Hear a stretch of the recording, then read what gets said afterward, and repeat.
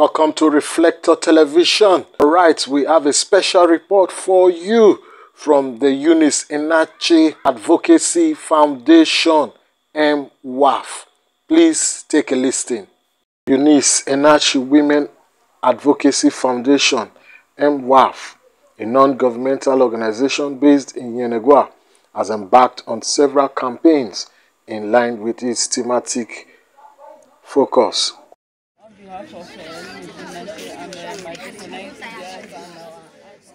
In this short video, we show you some of their campaign activities in recent times. Some of these activities include advocacy campaign against violence, medical outreach and distribution of materials. do violence against you. It is very important. So, as young boys, when your sisters and you are in the house, Thank you.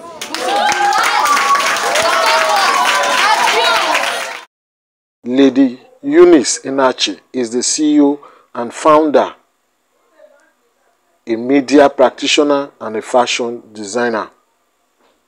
She is through her NGO adding her voice to the liberation of women in society. So you better make you know your status. When you know your status, then you go dey take drugs so that you go fit live long but when you dey fear.